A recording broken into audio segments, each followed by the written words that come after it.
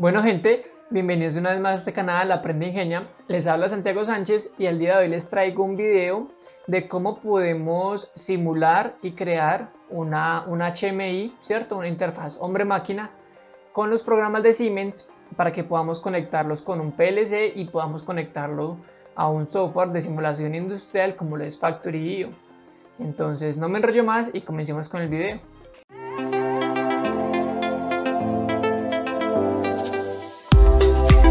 Bueno amigos, hoy les traigo un video de cómo vamos a programar pues, la interfaz gráfica de, en HMI, cómo crear un HMI, una interfaz gráfica en el TIA Portal.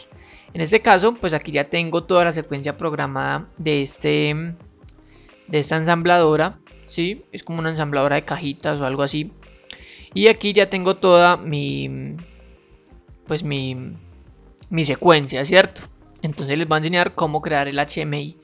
Entonces nos vamos a ir a agregar dispositivo, clic derecho o doble clic. Mejor le vamos a dar doble clic. Y aquí nos aparece esta ventana. Entonces, ¿qué vamos a hacer? Tenemos controladores, HMI sistemas PC. Vamos a ir a HMI y en mi caso la voy a mm, configurar para que se conecte al, a este simulador que tengo aquí abierto. Entonces, ¿cómo la voy a configurar? Esto ya depende de qué PLC tengan ustedes. En mi caso, es este de 7 pulgadas, este KTP 700 Basic y es este de acá. Le doy a aceptar, ¿cierto? Y me van a abrir unas opciones para yo configurarla, conectarla a mi PLC, eh, configurar algunos botones, configurar algunos avisos. Entonces, pues vamos a esperar a ver si mi computador no se demora 700 años en abrir estas opciones. Listo, ahí abrió. Entonces lo primero que nos dice es conexión con PLC. Entonces nos pregunta, ¿querés conectarla con un PLC? Yo le digo, claro que sí, por supuesto. Le doy aquí y ya automáticamente me lo conecta. ¿Sí? Le damos en siguiente. Aquí es para mm, configurar si queremos un logotipo de fondo. En este caso pues yo no lo tengo habilitado porque no tengo un logotipo específico. Pues no trabajo para una empresa específica, entonces no. Aquí es para configuración de avisos. Yo tengo los checkbox pues ya inhabilitados porque de momento no manejo los avisos. Imágenes es para, para si quiero agregar imágenes. Eh, la imagen raíz la voy a dejar así de momento, no me molesta el nombre. Aquí le podemos cambiar el nombre si queremos, pero la voy a dejar así. Imágenes del sistema, esto es si queremos otro tipo de imágenes, administración de usuarios, Simatic, no sé qué. Esto ya lo hice en un video pasado, la administración de usuarios, y lo hice de otra manera. Así que pues ustedes me dirán si quieren que lo haga de esta manera. Y por último los botones, que no tengo seleccionado ninguno, lo dejo tal cual está. Y por último le doy finalizar. Cuando le damos en finalizar, pues nos va a crear ese HMI que necesitamos. Y automáticamente aquí a la izquierda nos van a aparecer opciones para eh, configurar para la configuración del HMI, las variables del HMI y pues como les dije aquí tenemos nuestro HMI. Acá al lado derecho tenemos los elementos para pues para programarla. estos objetos básicos es más para darle como un toque mm, bonito o para darle detalles al HMI.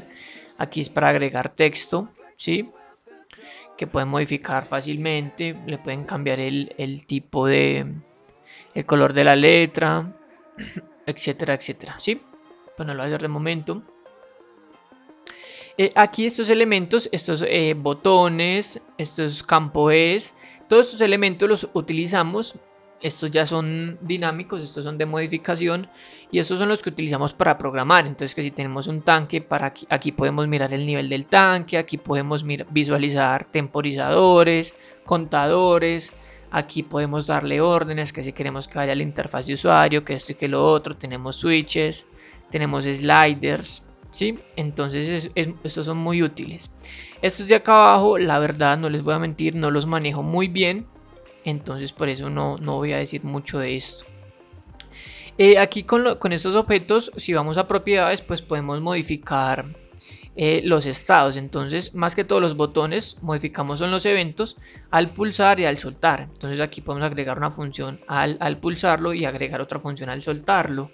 Eh, este, como este también es dinámico, este podemos asignarle, como les mencioné anteriormente, una variable. Aquí le asignamos y asignándole esa variable, pues él se va, va, se va a mover pues según, según se mueva esa variable, según varíe esa variable, valga la redundancia. Aquí en el campo es, este sí tiene muchas, muchas, muchos usos. Y como les digo, pues eh, también se le asigna una variable para em, visualizar temporizadores, contadores o demás. Si está como salida. Ahora, si lo tenemos como entrada, aquí lo podemos configurar como entrada o salida. ¿sí? Entonces, eh, ya depende de lo que ustedes necesiten. Lo otro que les quiero contar, eh, recuerden, yo también ya hice un video de esto, que podemos configurar su seguridad.